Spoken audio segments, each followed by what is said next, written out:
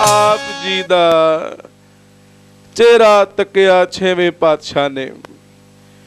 ਜਿਸ ਦਿਨ ਬਾਬਾ ਬੁੱਢਾ ਜੀ ਨੇ ਇਤਿਹਾਸ ਗਵਾਹੀ ਭਰਦਾ ਇਸ ਗੱਲ ਦੀ, ਬਾਬਾ ਬੁੱਢਾ ਸਾਹਿਬ ਜਿਸ ਦਿਨ ਪਹਿਲੇ ਦਿਨ ਬਾਬਾ ਗੁਰਦਿੱਤਾ ਜੀ ਦਾ ਚਿਹਰਾ ਤੱਕਿਆ, ਬਾਬਾ ਬੁੱਢਾ ਸਾਹਿਬ ਨੇ ਬਚਨ ਕੀਤਾ, ਗੁਰੂ ਨਾਨਕ ਦੇ ਸਮ ਰੂਪ ਅਪਾਰ।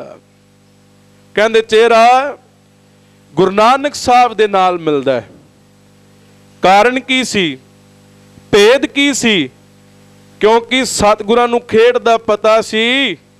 ਜਿਵੇਂ ਸਾਈਂ ਬੁੱਢਣ ਸ਼ਾਹ ਗੁਰਮਖੋ ਜਦੋਂ ਬਾਬਾ ਗੁਰਦਿੱਤਾ ਜੀ ਦੇ ਆਪਾਂ ਦਰਸ਼ਨ ਕਰਨ ਜਾਂਦੇ ਆ ਸਾਈਂ ਬੁੱਢਣ ਸ਼ਾਹ ਦੀ ਦਰਗਾਹ ਉੱਥੇ।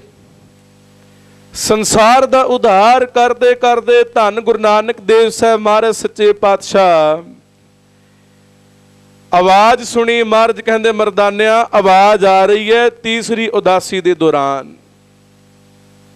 ਮਰਦਾਨਾ ਜੀ ਕਹਿੰਦੇ, ਮਹਾਰਾਜ ਕੈਸੀ ਆਵਾਜ਼? ਸਤਿਗੁਰੂ ਜੀ ਕਹਿੰਦੇ, ਮਰਦਾਨਿਆ, ਸੁਣ। ਕੋਈ ਬਹੁਤ ਪ੍ਰੇਮ ਦੇ ਵਿੱਚ ਹੋ ਕੇ ਸਾਨੂੰ ਯਾਦ ਕਰ ਰਿਹਾ ਹੈ। ਕੋਈ ਐਸੀਆਂ ਆਵਾਜ਼ਾਂ ਕੰਨਾਂ ਦੇ ਵਿੱਚ ਪੈ ਰਹੀਆਂ ਨੇ। ਸਾ ਬੇਨਤੀਆਂ ਕੀਤੀਆਂ ਜਾ ਰਹੀਆਂ। ਦੇਹੋ ਦਰਸ ਮੇਰੇ ਪਿਆਰੇ। ਮਹਾਰਾਜ ਕਹਿੰਦੇ, ਮਰਦਾਨਿਆਂ, ਆਵਾਜ਼ ਸੁਣ। ਸੱਚੇ ਪਾਤਸ਼ਾਹ ਸਾਈਂ ਜੀ ਦੀ ਦਰਗਾਹ ਦੇ ਕੋਲ ਗਏ ਆ ਬੜੀ ਦੇਰ ਦਾ ਦਰਸ਼ਨਾਂ ਦਾ, ਦਰਸ਼ਨਾਂ ਦੀ ਤਾਂਗ ਹੈ ਇੱਛਾ ਮਨ ਦੇ ਵਿੱਚ ਮੈਨੂੰ ਦਰਸ਼ਨ ਹੋਣ, ਵਾਹਿਗੁਰੂ ਦੇ। ਮੈਨੂੰ ਅਕਾਲ ਪੁਰਖ ਦੇ ਦਰਸ਼ਨ ਹੋਣ। ਜੇ ਉਹ ਅੱਲਾਹ ਤਾਲਾ ਸੰਸਾਰ ਤੇ ਹੈ, ਮੈਨੂੰ ਦਰਸ਼ਨ ਦੇ ਕੇ ਜਾਵੇ। ਅੱਜ ਗੁਰੂ ਨਾਨਕ ਸਾਹਿਬ ਸਾਈਂ ਕੋਲ ਗਏ ਹੈ। ਆਪ ਜੀ, ਮਰਦਾਨਾ ਜੀ, ਬਾਲਾ ਜੀ ਆਪ ਜੀ ਦੇ ਨਾਲ ਨੇ। ਜਾ ਕੇ ਬੈਠੇ ਕਾਫੀ ਸਮਾਂ ਰੂਹਾਨੀਅਤ ਵਿਚਾਰਾਂ ਆਪ ਜੀ ਦੇ ਨਾਲ ਹੋਈਆਂ। ਸਾਈਂ ਜੀ ਨੇ ਆਪ ਜੀ ਦੇ ਚਰਨਾਂ ਤੇ ਸੀਸ ਨਵਾਇਆ। ਵੱਡੇ ਵੱਡੇ ਪੀਰ ਪੈਗੰਬਰ ਔਲੀਏ ਗੁਰੂ ਨਾਨਕ ਸਾਹਿਬ ਦੇ ਚਰਨਾਂ ਤੇ ਵੱਡੇ ਵੱਡੇ ਸਿੱਧ ਵੀ ਸੀਰ- ਸੀਸ ਨਵਾਉਂਦੇ ਹੀ ਰਹੇ ਨੇ। ਕਿਉਂ? ਕਿਉਂਕਿ ਗੁਰਮੁਖੋ, ਉਹ ਆਪ ਨਰਾਇਣ ਕਲਾ ਧਾਰ ਜਗ ਮੈਂ ਪਰਵਰਿਓ। ਆਪ ਵਾਹਿਗੁਰੂ ਆਇਆ। ਸਾਈਂ ਜੀ ਲੱਗੇ ਕਹਿਣ, ਸੱਚੇ ਪਾਤਸ਼ਾਹ, ਆ ਦੁੱਧ ਹੈ ਜਿਹੜਾ ਬੱਕਰੀਆਂ ਦਾ, ਇਹ ਮੈਂ ਰੋਜ਼ ਛਕਦਾ, ਆਪ ਜੀ ਨੂੰ ਵੀ ਦਿੱਤਾ ਹੈ। ਛਕੋ ਆਪ ਜੀ। ਮਰਦਾਨਾ ਜੀ ਛਕਦੇ ਨੇ। ਗੁਰੂ ਨਾਨਕ ਸਾਹਿਬ ਕਹਿੰਦੇ ਕਹਿੰਦੇ, ਅਸੀਂ ਨਹੀਂ ਛਕਣਾ ਹਲੇ। ਸਾਈਂ ਜੀ ਕਹਿੰਦੇ, ਮਹਾਰਾਜ, ਕਦੋਂ ਛਕੋਗੇ ਆਪ ਜੀ? ਜਿਵੇਂ ਆਪਾਂ ਸਾਡੇ ਘਰ ਕੋਈ ਆ ਜਾਵੇ, ਅਸੀਂ ਕਹਿੰਦੇ ਆ ਦੁੱਧ ਛਕੋ। ਸਾਈਂ ਜੀ ਲੱਗੇ ਕਹਿਣ, ਮਹਾਰਾਜ, ਕਦੋਂ ਛਕੋਗੇ? ਚਰਨਾ ਤੇ ਸੀਸ ਰੱਖਿਆ, ਮਹਾਰਾਜ, ਬੇਨਤੀ ਹੈ, ਬੜੀ ਭਾਵਨਾ ਨਾਲ ਦੁੱਧ ਦਿੱਤਾ ਹੈ, ਜਰੂਰ ਛਕੋ। ਤੇ ਗੁਰਮੁਖੋ ਸ਼ੰਕੇ ਕਰਨ ਵਾਲੇ ਸ਼ੰਕੇ ਕਰਦੇ ਨੇ। ਪਰ ਉਸ ਵੇਲੇ ਗੁਰੂ ਨਾਨਕ ਸਾਹਿਬ ਨੇ ਬਚਨ ਕੀਤਾ, ਸਾਈਂ ਜੀ, ਅਸੀਂ ਜਦੋਂ ਛੇਵਾਂ ਜਾਮਾ ਧਾਰਾਂਗੇ ਨਾ, ਇੱਕ ਘੜੇ ਦੇ ਵਿੱਚ ਦੁੱਧ ਕੁੱਜੇ 'ਚ ਪਾ ਕੇ ਮਾਰਨ ਨੇ ਮਿੱਟੀ 'ਚ ਦਬਤਾ। ਕਹਿੰਦੇ, ਜਦੋਂ ਛੇਵਾਂ ਜਾਮਾ ਧਾਰਾਂਗੇ, ਆਪਣੇ ਵੱਡੇ ਸਾਹਿਬਜ਼ਾਦੇ ਨੂੰ ਦੁੱਧ ਛਕਣ ਵਾਸਤੇ ਭੇਜਾਂਗੇ, ਮੇਰੇ ਵਿੱਚ ਤੇ ਉਸ ਮੇਰੇ ਵੱਡੇ ਸਾਹਿਬਜ਼ਾਦੇ 'ਚ ਕੋਈ ਫ਼ਰਕ ਨਹੀਂ ਹੋਏਗਾ। ਬਚਨ ਕੀਤਾ ਸੀ ਸਤਿਗੁਰਾਂ ਨੇ, ਸ਼ੰਕੇ ਸੰਸਾ ਨਾ ਕੋਈ ਰੱਖਿਓ, ਸਾਈਂ ਜੀ ਲੱਗੇ ਕਹਿਣ ਮਹਾਰਾਜ ਭੇਜ ਦਿਓ, ਮੈਂ ਉਡੀਕ ਕਰਾਂਗਾ। ਸਤਿਗੁਰੂ ਜੀ ਕਹਿ ਰਹੇ ਨੇ, ਦੁੱਧ ਪੀਵਾਂਗੇ ਸਾਈਂ ਜੀ ਤੇਰਾ ਆਣ ਕੇ, ਛੇਵੇਂ ਜਾਮੇ ਪੁੱਤ ਭੇਜ ਕੇ, ਦੁੱਧ ਪੀਵਾਂਗੇ ਸਾਈਂ ਜੀ ਤੇਰਾ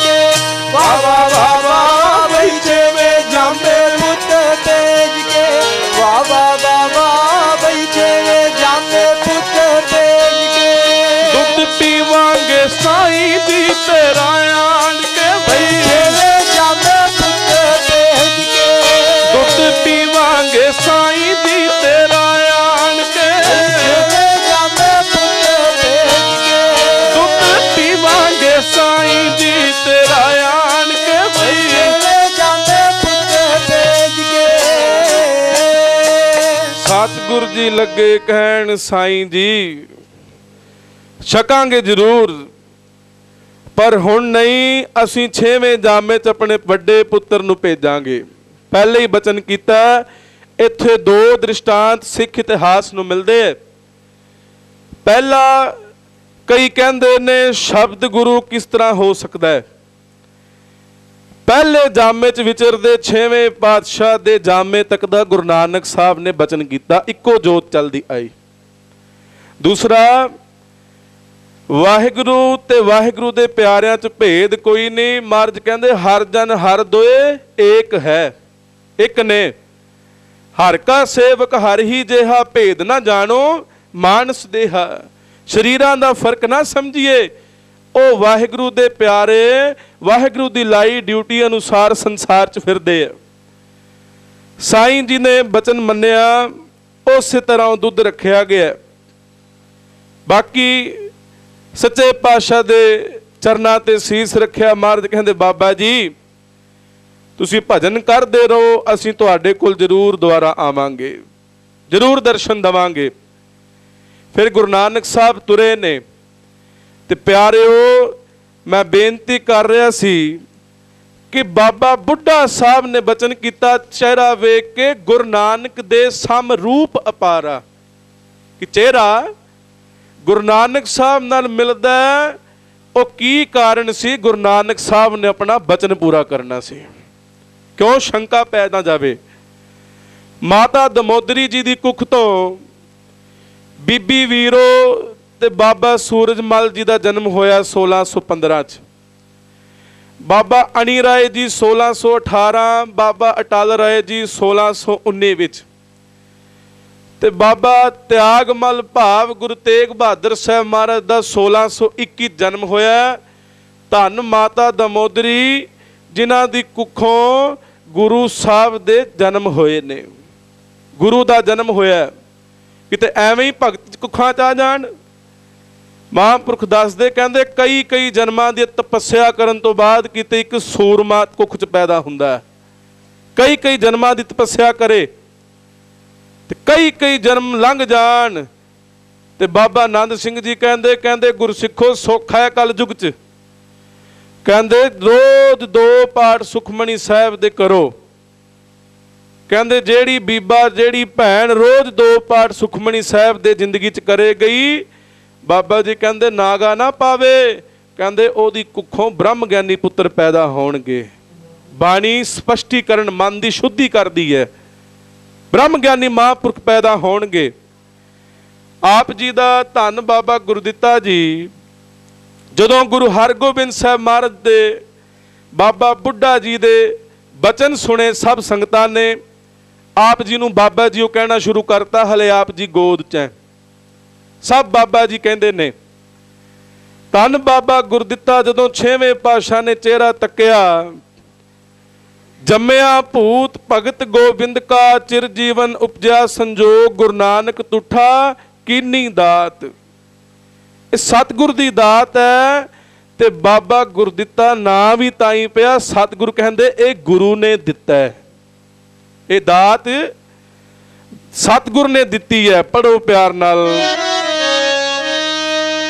ਦਿੱਤੀ ਹੈ ਸਤਿਗੁਰ ਨੇ ਨਾਮ ਗੁਰ ਦਿੱਤਾ ਰੱਖਿਆ।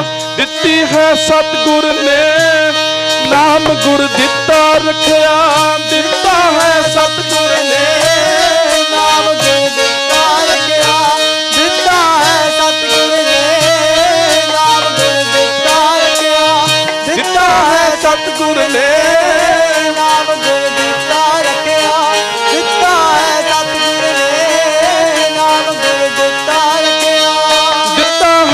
ਸਤਿਗੁਰ ਨੇ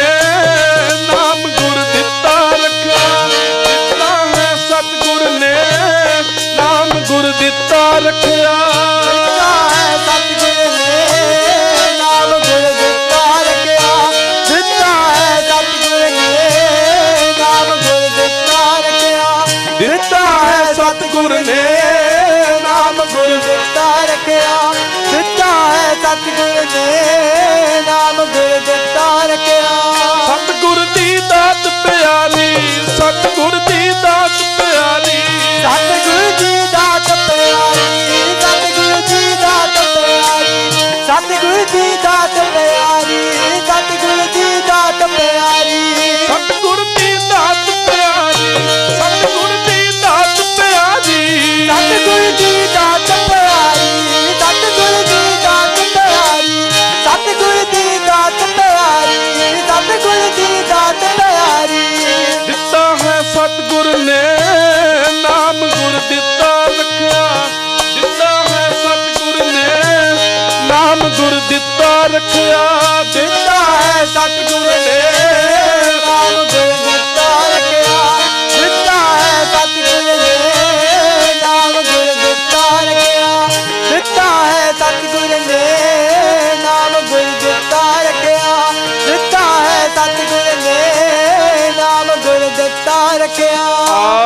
ਦਾ ਨਾਂ ਉਸੇ ਦਿਨ ਤੋਂ ਗੁਰ ਦਿੱਤਾ ਪਿਆ ਸਭ ਸੰਗਤਾਂ ਦੇ ਵਿੱਚ ਛੇਵੇਂ ਪਾਤਸ਼ਾਹ ਧੰਨ ਗੁਰੂ ਹਰਗੋਬਿੰਦ ਸਾਹਿਬ ਮਹਾਰਾਜ ਨੇ ਇਹ ਨਾਂ ਦਾ ਜਕਾਰਾ ਛੱਡਿਆ ਬੇਅੰਤ ਸੰਗਤਾਂ ਆਪ ਜੀ ਦੇ ਮੁਖ ਵੱਲ ਤੱਕਦੀਆਂ ਨੇ ਤੇ ਸਤਿਗੁਰਾਂ ਨੂੰ ਵਧਾਈਆਂ ਦਿੱਤੀਆਂ ਜਾਂਦੀਆਂ ਧੰਨ ਗੁਰੂ ਹਰਗੋਬਿੰਦ ਸਾਹਿਬ ਮਹਾਰਾਜ, ਆਪਣੇ ਨਾਲ ਬਾਬਾ ਗੁਰਦਿੱਤਾ ਜੀ ਨੂੰ ਸਾਧ ਸੰਗਤ ਹਰਮੰਦਰ ਸਾਹਿਬ ਲੈ ਆਏ। ਉੱਥੇ ਹੁਣ ਧਿਆਨ ਦਿਓ, ਇੱਕ ਸਾਡੇ ਜੀਵਨਾਂ ਵਿੱਚ, ਇੱਕ ਰੱਬ ਦੇ ਪਿਆਰਿਆਂ ਦੇ ਜੀਵਨ ਦੀ ਚਾਲੀ। ਬਾਬਾ ਗੁਰਦਿੱਤਾ ਜੀ ਨੂੰ ਅਸ਼ੀਰਵਾਦ ਗੁਰੂ ਰਾਮਦਾਸ ਸਾਹਿਬ ਮਹਾਰਾਜ ਦੀ ਧਰਤੀ ਦਾ ਮਿਲਿਆ। ਹਰਮੰਦਰ ਸਾਹਿਬ ਦੀ ਧਰਤੀ, ਬਾਬਾ ਜੀ ਨੂੰ ਅਸ਼ੀਰਵਾਦ ਮਿਲਿਆ ਔਰ ਗੁਰੂ ਸਾਹਿਬ ਨੇ ਸਿੱਖ ਪੰਥ ਦੇ ਵਿੱਚ ਪਹਿਲਿਆਂ 6 ਜਾਮਿਆਂ ਤੱਕ ਜੇ ਬ੍ਰਹਮ ਗਿਆਨੀ ਹੋਏ ਨੇ, ਬਾਬਾ ਬੁੱਢਾ ਸਾਹਿਬ ਹੋਏ ਨੇ। ਬਾਬਾ ਬੁੱਢਾ ਜੀ ਤੋਂ ਧੰਨ ਗੁਰੂ ਹਰਗੋਬਿੰਦ ਸਾਹਿਬ ਮਹਾਰਾਜ ਨੇ ਅਸ਼ੀਰਵਾਦ ਬਾਬਾ ਗੁਰਦਿੱਤਾ ਜੀ ਨੂੰ ਆਪ ਦਵਾਈ ਹੈ। ਆਪ ਸਿਰ ਤੇ ਹੱਥ ਰਖਾਇਆ ਤੇ ਆਪ ਜੀ ਨੂੰ ਵਿਦਿਆ ਭਾਈ ਗੁਰਦਾਸ ਵਰਗੇ ਔਰ ਸ਼ਸਤਰ ਵਿਦਿਆ ਆਪ ਧੰਨ ਗੁਰੂ ਹਰਗੋਬਿੰਦ ਸਾਹਿਬ ਮਹਾਰਾਜ ਉੱਥੇ ਆਪ ਜੀ ਨੂੰ ਦਿੰਦੇ ਨੇ। ਸਾਹਿਬਾਂ ਦੀ ਕਿਰਪਾ ਹੋਈ ਹੈ। ਆਪ ਜੀ ਜੀਵਨ ਆਪ ਜੀ ਦਾ ਚੱਲ ਰਿਹਾ ਹੈ ਕਾਫੀ ਸਮਾਂ। ਤੇ ਕਹਿੰਦੇ ਜਿਸ ਸਮੇਂ ਜੰਗ ਹੋਇਆ ਹੈ, ਤੇ ਬਾਬਾ ਗੁਰਦਿੱਤਾ ਸਾਹਿਬ ਨੇ ਪਹਿਲੇ ਜੰਗ ਵਿੱਚ ਬੜਾ ਜੁੱਧ ਕਮਾਲ ਦਾ ਦਿਖਾਇਆ। ਬੜੇ ਬੜਿਆਂ ਨੂੰ ਉੱਥੇ ਬਾਬਾ ਜੀ ਨੇ ਹਾਰ ਪਾਈ। ਤੇ ਸਾਧ ਸੰਗਤ ਧੰਨ ਬਾਬਾ ਗੁਰਦਿੱਤਾ, ਦੀਨ ਦੁਨੀ ਦਾ ਟਿੱਕਾ। ਜੋ ਵਰ ਮੰਗਿਆ, ਸੋ ਵਰ ਦਿੱਤਾ। ਜਿਸ ਸਮੇਂ ਬਾਬਾ ਗੁਰਦਿੱਤਾ ਜੀ ਨੂੰ ਛੇਵੇਂ ਪਾਤਸ਼ਾਹ ਨੇ ਆਪਣੇ ਕੋਲ ਲਿਆਂਦਾ, ਸਾਰੀਆਂ ਵਿੱਦਿਆ ਦਿੱਤੀਆਂ ਜਾ ਰਹੀਆਂ। ਹੁਣ ਨਾਮ ਜਪਾਇਆ ਜਾ ਰਿਹਾ ਹੈ ਭਜਨ ਕਰਾਇਆ ਜਾ ਰਿਹਾ। ਹੈ ਗੁਰੂ ਦੇ ਲੜ ਲਾਇਆ ਜਾ ਰਿਹਾ ਹੈ ਆਪ ਜੀ ਦਾ ਫਿਰ ਵਿਆਹ ਕੀਤਾ। ਮਾਤਾ ਅਨੰਤੀ ਜਿਨ੍ਹਾਂ ਦਾ ਸਹੁਰੇ ਘਰ ਵਿੱਚ ਆ ਕੇ ਮਾਤਾ ਰਾਜ ਨਾਂ ਪਿਆ, ਬੀਬੀ ਰਾਜ ਕੌਰ। ਉਹਨਾਂ ਨਾਲ ਆਪ ਜੀ ਦਾ ਬੜੀ ਖੁਸ਼ੀ ਨਾਲ ਵਿਆਹ ਹੋਇਆ ਬੜੇ ਚਾ ਬੜੇ ਸਿੱਖਾਂ ਨੇ। ਬਟਾਲੇ ਬਰਾਤ ਗਈ ਹੈ। ਇੱਥੇ ਵੀ ਜ਼ਿਕਰਯੋਗ ਹੈ ਕਿ ਜਿੱਥੇ ਗੁਰੂ ਨਾਨਕ ਸਾਹਿਬ ਦੇ ਵਿਆਹ ਦੀ ਬਰਾਤ ਗਈ ਹੈ, ਉਸੇ ਨਗਰ ਬਾਬਾ ਗੁਰਦਿੱਤਾ ਜੀ ਦੀ ਬਰਾਤ ਗਈ ਹੈ। ਆਪ ਜੀ ਦੀ ਨਗਰ ਦੇ ਵਿੱਚ ਆਪ ਜੀ, ਜਿਨ੍ਹਾਂ ਦੇ ਜਿਹੜੇ ਆਪ ਜੀ ਦੇ ਸਹੁਰੇ ਨੇ ਰਾਮਾ ਜੀ, ਬੜੀ ਵਸਤੂਆਂ, ਬੜੇ ਸ਼ਗਨ ਆਪ ਜੀ ਦੇ ਸਾਹਮਣੇ ਰੱਖੇ। ਅੱਜ ਸਾਡੀ ਸੋਚ, ਪਰ ਰੱਬ ਦੇ ਪਿਆਰੇ ਮਹਾਰਾਜ ਕਹਿੰਦੇ ਨੇ, ਘਾਲ ਖਾਏ ਕਿਛ ਹੱਥੋਂ ਦੇ। ਬਾਬਾ ਗੁਰਦਿੱਤਾ ਜੀ ਜਿੰਨੀਆਂ ਦਾਤਾਂ ਸੀ, ਸਾਰੀਆਂ ਸੰਗਤ 'ਤੇ ਵੰਡ ਦਿੱਤੀਆਂ। ਇੱਕ ਦਾਤ ਨਾ ਕੋਲ ਰੱਖੀ। ਗੁਰਬਿਲਾਸ ਪਾਤਸ਼ਾਹੀ 6ਵੀਂ ਉਹਦੇ ਵਿੱਚ ਭਾਈ ਸਾਹਿਬ ਬਚਨ ਕਰਦੇ ਕਹਿੰਦੇ ਤਰੀ ਦਈ ਪ੍ਰਭ ਪੇਟ ਲਈ। ਸਭ ਬਾਂਟ ਦਿਓ, ਮਨ ਆਨੰਦ ਪਾਇਓ। ਕਹਿੰਦੇ, ਜਿੰਨੀਆਂ ਦਾਤਾਂ ਸੀ ਸਭ ਵੰਡੀਆਂ। ਗੁਰਸਿੱਖ ਦਾ ਕੰਮ, ਗੁਰਸਿੱਖ ਨੂੰ ਲਾਲਚ ਨਹੀਂ, ਗੁਰਸਿੱਖ ਨੂੰ ਕੋਈ ਮੋਹ ਨਹੀਂ। ਮਹਾਰਾਜ ਕਹਿੰਦੇ, ਮੋਹ ਮਾਇਆ ਕੇ ਸੰਗ ਨਾ ਲੇਪ, ਮਨ ਮੈਂ ਰਾਖੈ ਹਰ ਹਰ ਏਕ। ਤੇ ਜਿਹੜੇ ਮੋਹ ਮਾਇਆ ਚ ਪੈਂਦੇ ਨੇ ਪੰਕ ਜੋ ਮੋਹ ਪਗ ਨਹੀਂ ਚਾਲੇ, ਹਮ ਦੇਖਤ ਹੈ ਜਿਹੜੇ ਮੋਹ ਮਾਇਆ ਵਿੱਚ ਫਸਦੇ, ਮੈਂ ਅੱਖੀ ਡੁੱਬਦੇ ਦੇਖੇ ਨੇ।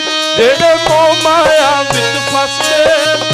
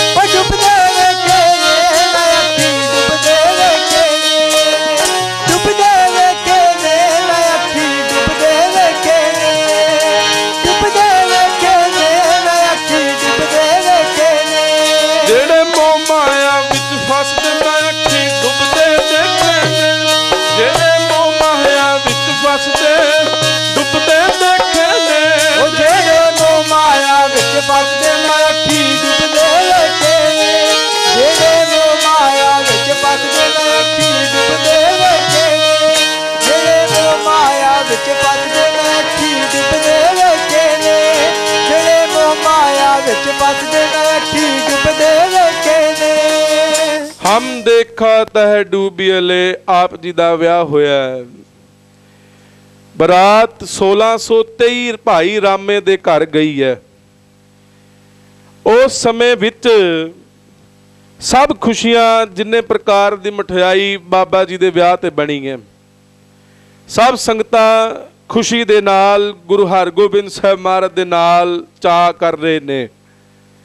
ਬਾਬਾ ਗੁਰਦਿੱਤਾ ਜੀ ਉਪਰੰਤ ਆਪ ਜੀ ਗੁਰੂ ਹਰਗੋਬਿੰਦ ਸਾਹਿਬ ਮਹਾਰਾਜ ਬਾਬਾ ਸ਼੍ਰੀ ਚੰਦ ਜੀ ਦੇ ਕੋਲ ਆਪ ਜੀ ਨੂੰ ਲੈ ਕੇ ਗਏ।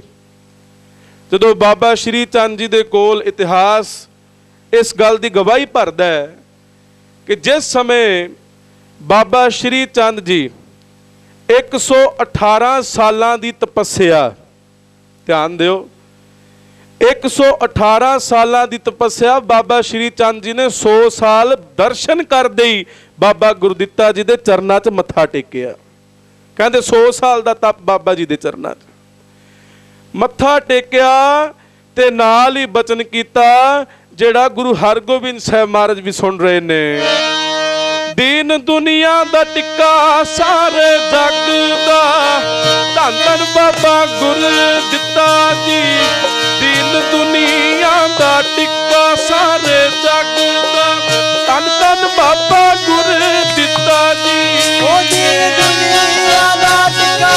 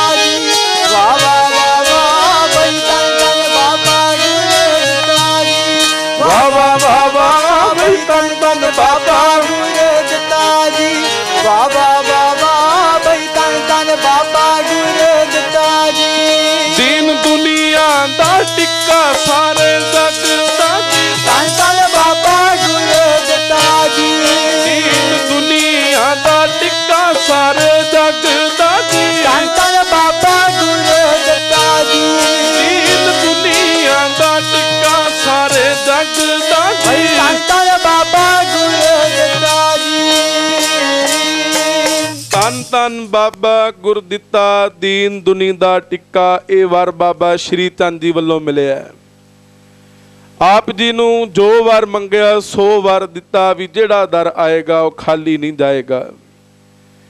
ਚਾਰ ਧੂਣੇ ਥਾਪੇ ਗਏ ਪ੍ਰਚਾਰ ਵਾਸਤੇ। ਭਾਈ ਅਲਮਸਤ, ਬਾਲੂ ਹਸਨਾ, ਗੋਬਿੰਦ ਜੀ ਤੇ ਫੂਲ ਜੀ ਚਾਰੇ ਹੀ ਜੋ ਜੰਮੂ ਦੇ ਕਸ਼ਮੀਰ ਦੇ ਸਨ। ਸ਼੍ਰੀਨਗਰ ਤੇ ਕਸ਼ਮੀਰ ਇਲਾਕੇ ਦੇ ਆਪ ਜੀ ਚਾ ਰਹੀ ਹੈ।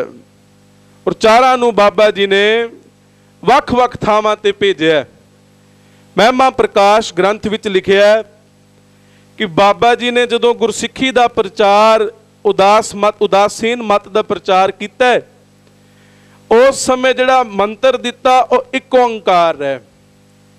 ਇੱਕ ਓੰਕਾਰ ਦੀ ਮਹਿਮਾ ਅਮਰ ਕਥਾ ਕਾ ਬੀਜ ਇਹੋ ਓੰਕਾਰ ਸਭਾਈ। ਇਸੇ ਮੰਤਰ ਨੂੰ ਜਪਾਇਆ। ਤੇ ਕਹਿੰਦੇ, ਓੰਕਾਰ ਕੀ ਹੀ ਮਹਿਮਾ ਗੁਰੂ ਨਾਨਕ ਗਾਈ, ਉਹੀ ਮਹਿਮਾ ਗੁਰੂ ਨਾਨਕ ਸਾਹਿਬ ਨੇ ਗਾਈ।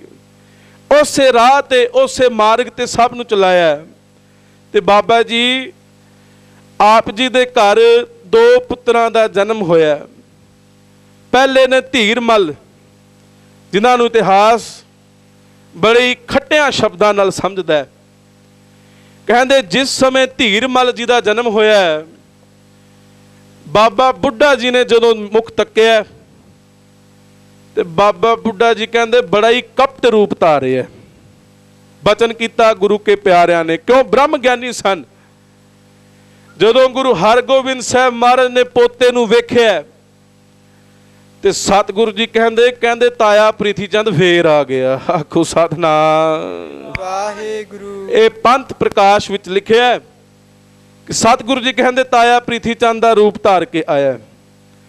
1626 ਵਿੱਚ ਆਪ ਜੀ ਦੇ ਘਰ ਧੀਰਮਲ ਦਾ ਜਨਮ ਹੋਇਆ ਔਰ 1630 ਦੇ ਵਿੱਚ 30 ਮਈ 1630 ਆਪ ਜੀ ਦੇ ਘਰ ਦੇ ਵਿੱਚ ਗੁਰੂ ਹਰਰਾਏ ਸਾਹਿਬ ਮਹਾਰਾਜ ਦਾ ਜਨਮ ਹੋਇਆ ਤੇ ਜਿਸ ਦਿਨ ਗੁਰੂ ਹਰਰਾਏ ਸਾਹਿਬ ਮਹਾਰਾਜ ਦਾ ਜਨਮ ਹੋਇਆ, ਉਸ ਸਮੇਂ ਵੀ ਧੰਨ ਬਾਬਾ ਬੁੱਢਾ ਸਾਹਿਬ ਨੇ ਕਿਹਾ ਸੀ, ਕਹਿੰਦੇ ਵੱਡੀ ਚੀਜ਼ ਦਾ ਗਾਹਕ ਆਇਆ ਬਾਬਾ ਬੁੱਢਾ ਸਾਹਿਬ ਜਾਣਦੇ ਸਨ, ਅੱਜ ਕਿਸੇ ਨੂੰ ਗੁਰਮੁਖੋ ਚਾਰ ਰਿੱਧੀਆਂ ਪੱਲੇ ਪੈ ਜਾਣ, ਚਾਰ ਸਿੱਧੀਆਂ ਕੋਲ ਹੋ ਜਾਣ, ਅੱਗਾ ਪਿੱਛਾ ਦੱਸਣ ਲੱਗ ਜਾਂਦਾ ਉਹ ਜਿਹੜੇ ਵਾਹਿਗੁਰੂ ਦਾ ਰੂਪ ਬਣ ਗਏ, ਸਭ ਜਾਣਦੇ ਨੇ।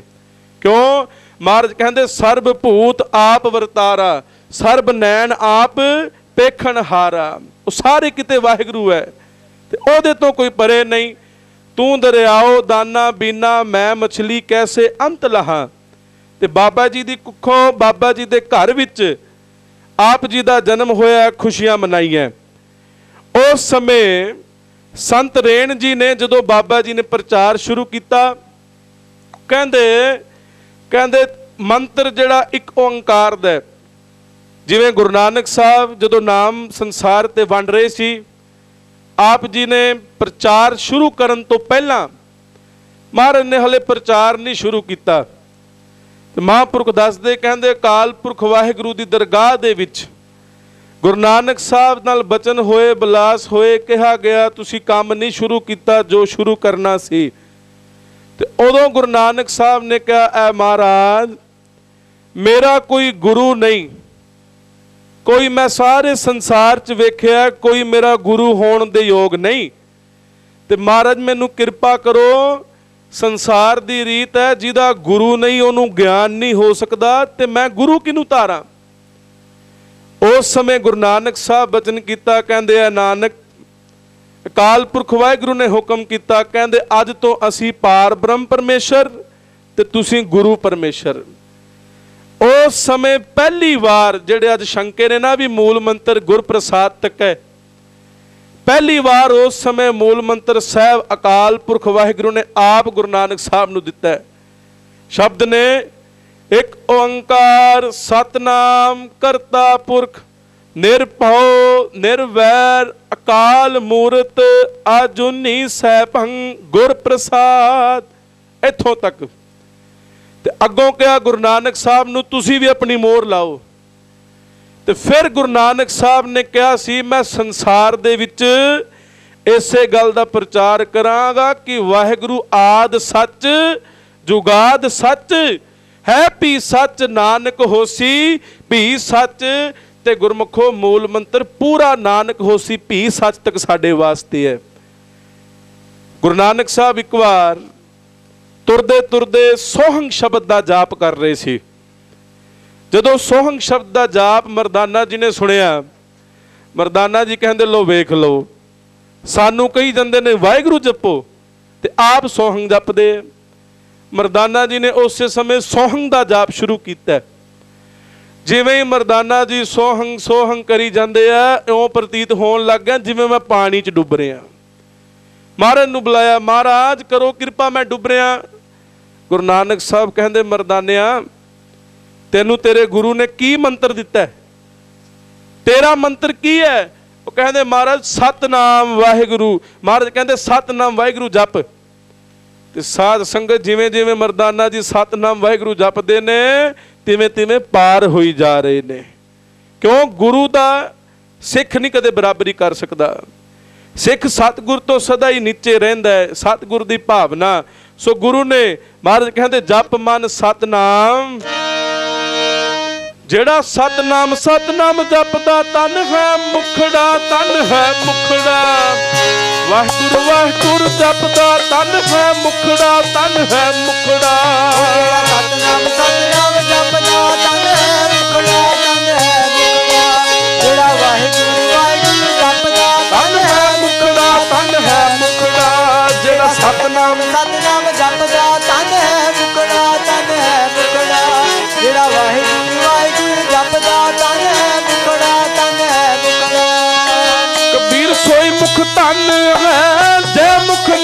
ਨਿਕਸੈ ਰਾਮ। ਤਾਕੇ ਪਗ ਕੀ ਬਾਨ ਨਹੀਂ, ਮੇਰੇ ਤਨ ਕੋ ਦਾਮ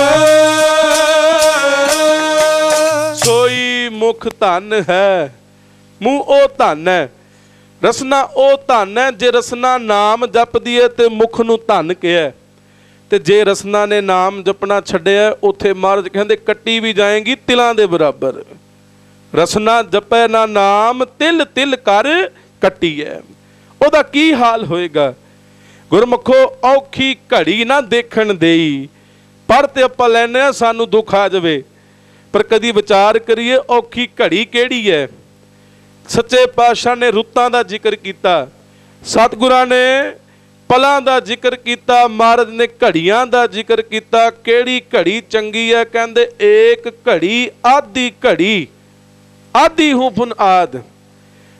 ਕਹਿੰਦੇ, ਘੜੀ ਕਿਹੜੀ ਸੁਲੱਖਣੀ ਹੈ ਡਾਕਟਰ ਭਾਈ ਸਾਹਿਬ, ਭਾਈ ਵੀਰ ਸਿੰਘ ਕਹਿੰਦੇ, ਸਾਈ ਘੜੀ ਸੁਲੱਖਣੀ, ਸਹੁ ਨਾਲ ਵਿਹਾਬ ਹੈ ਉਮਰ ਉਹਾਂ ਵਿੱਚ ਲੇਖੇ ਦੇ ਜੋ ਯਾਦ ਸਾਈ ਵਿੱਚ ਗੁਜਰੇ। ਜਿਹੜੀ ਸਾਨੂੰ ਮਾੜਾ ਜਿਹਾ ਦੁੱਖ ਆ ਜਾਵੇ, ਅਸੀਂ ਕਹਿੰਦੇ, ਔਖੀਆਂ ਘੜੀਆਂ, ਇਹ ਘੜੀ ਤੀ ਔਖੀ। ਇਹ ਤੇ ਸੰਸਾਰ ਦੇ ਦੁੱਖ ਨੇ, ਪਰ ਅਸਲ ਦੁੱਖ ਵਾਹਿਗੁਰੂ ਨੂੰ ਭੁੱਲਣਾ, ਸਤਿਗੁਰੂ ਨੂੰ ਭੁੱਲਣਾ। ਇਹ ਸਿੱਖ ਦਾ ਕੰਮ ਨਹੀਂ, ਸਿੱਖ ਸਦਾ ਹੀ ਚੇਤੇ ਰੱਖਦਾ ਹੈ। ਮੈਂ ਬੇਨਤੀ ਕੀਤੀ, ਜਨ ਦੇ ਕੰਮ, ਊਠਤ, ਬੈਠਤ, ਸੋਵਤ ਨਾਮ। ਹਰ ਸਮੇਂ ਜਪਦੇ ਰਹਿੰਦੇ ਨੇ। ਬਾਬਾ ਗੁਰਦਿੱਤਾ ਜੀ, ਹੁਣ ਪ੍ਰਚਾਰ ਸ਼ੁਰੂ ਕੀਤਾ, ਜੋ ਗੁਰਬਿਲਾਸ ਪਾਤਸ਼ਾਹੀ 6 ਵਿੱਚ ਲਿਖਿਆ ਕਹਿੰਦੇ, ਸੰਤ ਰੇਣ ਜੀ, ਉਦਾਸੀ ਬੋਧ ਗ੍ਰੰਥ ਵਿੱਚ ਵੀ ਲਿਖਦੇ ਨੇ, ਬਾਲੂ ਹਸਨ ਕਦਇਓ ਬਾਬੇ ਗੁਰਦਿੱਤੇ। ਕਹਿੰਦੇ ਇਹ ਮੰਤਰ ਫਿਰ ਪ੍ਰਚਾਰ ਵਾਸਤੇ ਸ਼ੁਰੂ ਕੀਤਾ ਹੈ। ਬੋਹਰ ਦਇਓ ਅਲਮਸਤਕੋ ਪਰਮੰ ਇਹ ਮਿੱਤੇ, ਇਹੀ ਫਿਰ ਅਲਮਸਤ ਨੂੰ ਦਿੱਤਾ ਗਿਆ ਹੈ। ਬਹੁਰ ਦਇਓ ਗੋਬਿੰਦ ਕਾ ਇਹ ਮੰਤਰ ਪਾਈ ਕਹਿੰਦੇ ਤੀਸਰਾ ਗੋਬਿੰਦ ਜੀ ਨੂੰ ਇਹ ਮੰਤਰ ਦਿੱਤਾ ਗਿਆ, ਤੇ ਕਹਿੰਦੇ ਫੂਲ ਸਾਹਿਬ ਕੋ ਪੁੰਨ ਦਿਓ, ਗੁਰ ਦਿੱਤੇ ਸਾਈ ਉਹਨਾਂ ਨੂੰ ਫਿਰ ਫੂਲ ਜੀ ਨੂੰ ਮੰਤਰ ਦਿੱਤਾ ਤੇ ਕਹਿੰਦੇ ਉਸ ਮਗਰੋਂ ਇਹ ਪ੍ਰਥਾ ਚੱਲੀ, ਤਿੰਨ ਚਾਰੋ ਤੇ ਪੰਥ ਸੇ ਸਭ ਸੰਤੈ ਪਾਇਆ।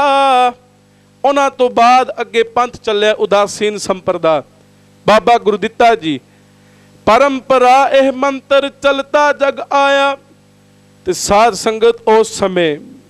ਬਾਬਾ ਗੁਰਦਿੱਤਾ ਜੀ, ਹੁਣ ਘਰ ਘਰ ਦੇ ਅੰਦਰ ਗੁਰੂ ਨਾਨਕ ਦੇ ਨਾਮ ਦੀ ਆਵਾਜ਼ ਲਾਈ ਹੈ।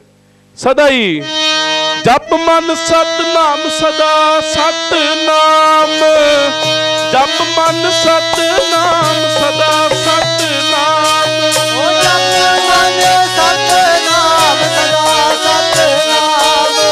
ਜਪ ਮਨ ਸਤਨਾਮ ਸਦਾ ਸਤਨਾਮ। ਜਪ ਮਨ ਸਤਨਾਮ ਸਦਾ ਸਤਨਾਮ। ਜਪ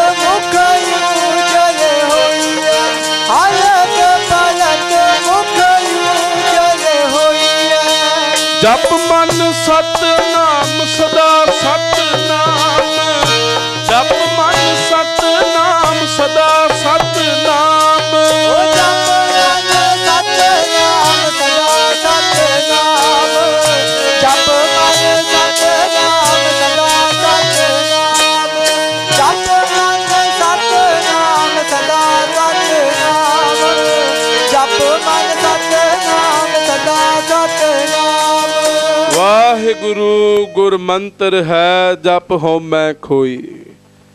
ਪੰਜ ਪਿਆਰੇ, ਇਹ ਮੰਤਰ ਦਿੰਦੇ ਅੱਜ ਸਿੱਖ ਨੂੰ। ਤੇ ਕਿਹਾ ਜਾਂਦਾ ਇਸ ਮੰਤਰ ਦਾ ਜਾਪ ਅੰਮ੍ਰਿਤ ਵੇਲੇ ਜ਼ਰੂਰ ਕਰਨਾ ਹੈ। ਜਿਹੜਾ ਜੁੜੇਗਾ, ਉਹ ਅੰਦਰੋਂ ਵੀ ਜੁੜ ਜਾਏਗਾ। ਜਿਹੜਾ ਉੱਪਰੋਂ ਉੱਪਰੋਂ ਜੁੜਨਾ ਸ਼ੁਰੂ ਹੋ ਜਾਵੇ, ਪਿਆਰਿਓ, ਇੱਕ ਦਿਨ ਆਏਗਾ, ਅੰਦਰੋਂ ਜੁੜ ਜਾਏਗਾ। ਤੇ ਜਿਹੜਾ ਉੱਤੋਂ ਉੱਤੋਂ ਹੀ ਨਹੀਂ ਬੋਲਿਆ ਉਹ ਅੰਦਰੋਂ ਕਿਵੇਂ ਜਾਏਗਾ? ਜਿਹੜਾ ਉੱਪਰੋਂ ਹੀ ਨਾ ਭਜਨ ਸ਼ੁਰੂ ਕੀਤਾ, ਅੰਦਰ ਕਿਵੇਂ ਵਸੇਗਾ? ਸੋ ਇਸੇ ਤਰ੍ਹਾਂ ਹੁਣ ਪ੍ਰਚਾਰ ਹੋ ਰਿਹਾ ਹੈ। ਉਪਰੰਤ ਬਾਬਾ ਗੁਰਦਿੱਤਾ ਜੀ ਨੇ ਜਦੋਂ ਅਕਾਲ ਚਲਾਣਾ ਕੀਤਾ, ਜਿਸ ਸਮੇਂ ਆਪ ਜੀ ਸ਼ਿਕਾਰ ਕਰਨ ਗਏ ਹੈ। ਸ਼ਿਕਾਰ ਕਰਨ ਗਏ ਤੇ ਹਰਨ ਦਾ ਭਲੇਖਾ ਜਾਂ ਕਹਿ ਲੋ ਵਾਹਿਗੁਰੂ ਦੀ ਮੌਜ। ਦੋ ਹੀ ਗੱਲਾਂ ਆਪਾਂ ਕਰ ਸਕਦੇ ਆ ਜਾਂ ਕਹਿ ਸਕਦੇ ਆ ਅੱਖਾਂ ਦਾ ਭਲੇਖਾ ਜਾਂ ਕਹਿ ਸਕਦੇ ਆ ਵਾਹਿਗੁਰੂ ਦੀ ਖੇਡ। ਹਰਨ ਦਾ ਭਲੇਖਾ ਸਮਝ ਕੇ ਬਾਬਾ ਗੁਰਦਿੱਤਾ ਜੀ ਨੇ ਗਊ ਤੇ ਸਾਧ ਸੰਗਤ ਉਸ ਸਮੇਂ ਵਾਰ ਕੀਤਾ। ਗਰੀਬ ਦੀ ਗਊ ਹੈ। ਜਦੋਂ ਗਊ ਤੇ ਵਾਰ ਹੋਇਆ ਤੇ ਬਾਬਾ ਗੁਰਦਿੱਤਾ ਜੀ ਕੋਲ ਪਿੰਡ ਵਾਲੇ ਇਕੱਠੇ ਹੋ ਕੇ ਆਏ। ਇਕੱਠੇ ਹੋ ਕੇ ਆਏ ਨੇ, ਆ ਕੇ ਕਹਿਣਾ ਕੀਤਾ, ਬਾਬਾ ਜੀ, ਇਹ ਬੜਾ ਮਾੜਾ ਕੰਮ ਕੀਤਾ ਹੈ। ਇਹ ਗਰੀਬਣੀ ਦੀ ਗਊ ਹੈ, ਇਹ, ਇਹਦਾ ਦੁੱਧ ਵੇਚ ਕੇ ਇਹਦਾ ਘਰ-ਬਾਰ ਚੱਲਦਾ ਹੈ ਤੇ ਹੁਣ ਇਹਦਾ ਕੀ ਗੁਜ਼ਾਰਾ ਹੋਏਗਾ? ਤੇ ਵਾਹਿਗੁਰੂ ਦੀ ਐਸੀ ਕਿਰਪਾ ਹੈ ਤੇ ਗੁਰਮੁਖੋ ਗੁਰੂ ਨਾਨਕ ਸਾਹਿਬ ਦੇ ਸੁਪੁੱਤਰ 6ਵੇਂ ਰੂਪ ਦੇ ਗੁਰੂ ਨਾਨਕ ਸਾਹਿਬ ਧੰਨ ਗੁਰੂ ਹਰਗੋਬਿੰਦ ਸਾਹਿਬ ਮਹਾਰਾਜ। ਗੁਰੂ ਹਰਗੋਬਿੰਦ ਸਾਹਿਬ ਮਹਾਰਾਜ ਦੇ ਸੁਪੁੱਤਰ ਹੋਣ ਕਰਕੇ ਤੇ ਗੁਰਬਲਾਸ ਪਾਤਸ਼ਾਹੀ 6ਵੀਂ ਵਿੱਚ ਲਿਖਿਆ ਕਿ ਜਿਸ ਸਮੇਂ ਬਾਬਾ ਗੁਰਦਿੱਤਾ ਜੀ ਨੇ ਜਨਮ ਲੈਣਾ ਸੀ, ਉਸ ਸਮੇਂ ਮਾਤਾ ਦਮੋਦਰੀ ਦਿਨ ਰਾਤ ਗੁਰੂ ਘਰ ਦੀ ਸੇਵਾ ਕਰਦੇ ਸੀ। ਦਿਨ ਰਾਤ ਜੇ ਭਾਈ ਮਣੀ ਸਿੰਘ ਬੰਦ-ਬੰਦ ਕਟਾਇਆ, ਉਹਨਾਂ ਦੇ ਪਿੱਛੇ ਸੇਵਾ ਦਾ ਹੱਥ ਸੀ। ਤੇ ਸੰਤ ਬਾਬਾ ਈਸ਼ਰ ਸਿੰਘ ਜੀ ਮਹਾਂਪੁਰਖ ਤੇ ਗੁਰਮੁਖੋ ਭਾਵੇਂ ਅੱਜ ਕੋਈ ਨਾ ਤਪ ਕਰਦਾ ਹੋਵੇ, ਪਰ ਉਹ ਜੇ ਅਧ ਰਾਜ ਹੈ, ਉਹਦੀ ਪਿਛਲੇ ਜਨਮਾਂ ਦੀ ਕਮਾਈ ਹੈ। ਮਹਾਰਾਜ ਕਹਿੰਦੇ ਤਪੋ ਰਾਜ। ਤਪ ਤੋਂ ਰਾਜ ਮਿਲਦਾ ਹੈ। ਮਾਤਾ ਦਮੋਦਰੀ ਕਹਿੰਦੇ, ਅਠੋ ਪੈਰ ਗੁਰੂ ਦੀ ਲੰਗਰਾਂ ਦੀ ਸੇਵਾ ਕਰਦੇ ਐ। ਤੇ ਬਾਬਾ ਗੁਰਦਿੱਤਾ ਜੀ ਵਿੱਚ ਸਹਿਜ ਸੁਭਾਈ, ਸੱਚੇ ਪਾਤਸ਼ਾਹ ਕਹਿੰਦੇ, ਨਵ ਰਿੱਧੀ 18 ਸਿੱਧੀ ਪਿੱਛੇ ਲੱਗੀ ਫਿਰਨ। ਰਿੱਧੀਆਂ ਸਿੱਧੀਆਂ ਪਿੱਛੇ ਰਹਿੰਦੀਆਂ ਨੇ। ਸਭ ਨਿਧਾਨ ਦਸ ਅਸ਼ਟ ਸਿਧਾਨ ਠਾਕੁਰ ਕਰ ਤਲ ਧਰਿਆ। ਰਿੱਧੀਆਂ ਸਿੱਧੀਆਂ ਸਭ ਗੁਰੂ ਦੇ ਪਿਆਰਿਆਂ ਦੇ ਪਿੱਛੇ। ਮੈਂ ਇੱਕ ਜ਼ਿਕਰ ਕਰਾਂ ਇੱਥੇ। ਸੰਤ ਮਹਾਰਾਜ ਬਾਬਾ ਈਸ਼ਰ ਸਿੰਘ ਜੀ ਰਾੜਾ ਸਾਹਿਬ ਵਾਲੇ, ਧਾਨਾ ਮਹਾਂਪੁਰਖ, ਆਪ ਜੀ ਇੰਗਲੈਂਡ ਗਏ ਬਾਹਰ, ਪ੍ਰਚਾਰ ਕਰ ਰਹੇ ਆ, ਜਦੋਂ ਕਿਸੇ ਦੇ ਘਰ ਗਏ, ਉੱਥੇ ਡਾਲਰ ਨੇ, ਡਾਲਰਾਂ ਨਾਲ ਸੰਗਤਾਂ ਨੇ ਮੱਥਾ ਟੇਕਿਆ। ਬਾਬਾ ਜੀ ਉੱਠਣ ਲੱਗੇ, ਡਾਲਰਾਂ ਨੂੰ ਪੈਰ ਮਾਰਿਆ। ਦੂਜੇ ਘਰ ਗਏ ਉੱਥੇ ਗਏ, ਉੱਥੇ ਵੀ ਇਸੇ ਤਰ੍ਹਾਂ ਡਾਲਰਾਂ ਦਾ ਢੇਰ ਲੱਗ ਗਿਆ। ਬਾਬਾ ਜੀ ਉੱਠੇ, ਬਾਬਾ ਜੀ ਨੇ ਪੈਰ ਨੂੰ ਮਾਰ, ਪੈਰ ਮਾਰਿਆ ਡਾਲਰਾਂ ਨੂੰ। ਇਸੇ ਤਰ੍ਹਾਂ ਅਗਲਾ ਦਿਨ ਹੋਇਆ ਜਦੋਂ ਅਗਲੇ ਦਿਨ ਧੰਨ ਸ਼੍ਰੀਮਾਨ ਸੰਤ ਬਾਬਾ ਈਸ਼ਰ ਸਿੰਘ ਜੀ ਮਹਾਰਾਜ ਅਗਲੇ ਘਰ ਗਏ ਨੇ।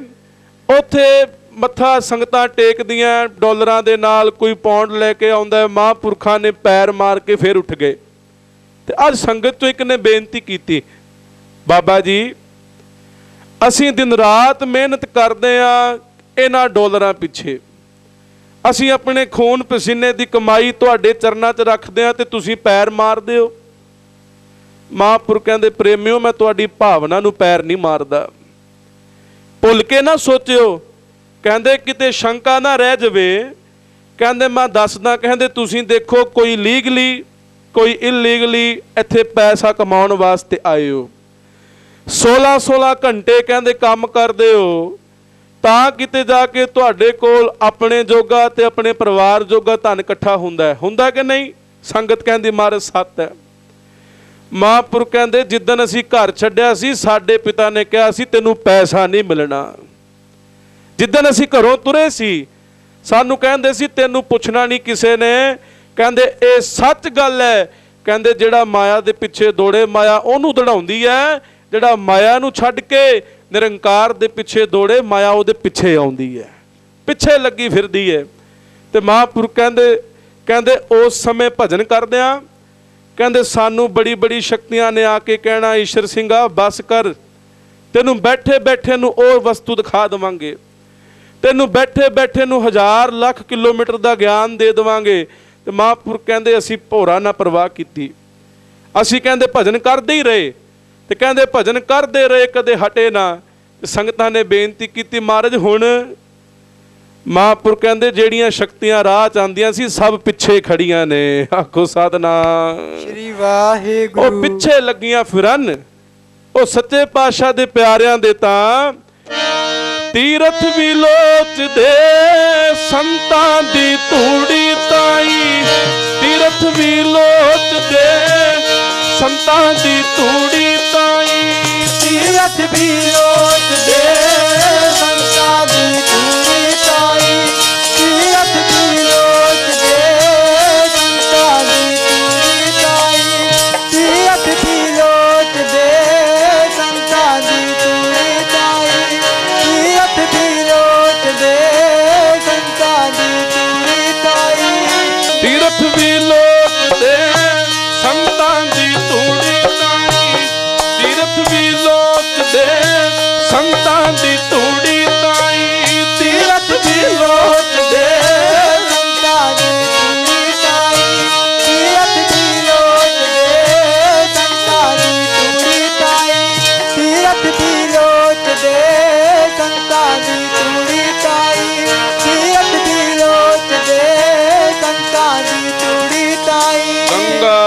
ਗੰਗਾ ਜਮਨਾ ਸਰਸਦੀ ਤੇ ਉਦਮ ਕਰੈ ਧੂਰ ਸਾਧੂ ਕੀ ਤਾਈ।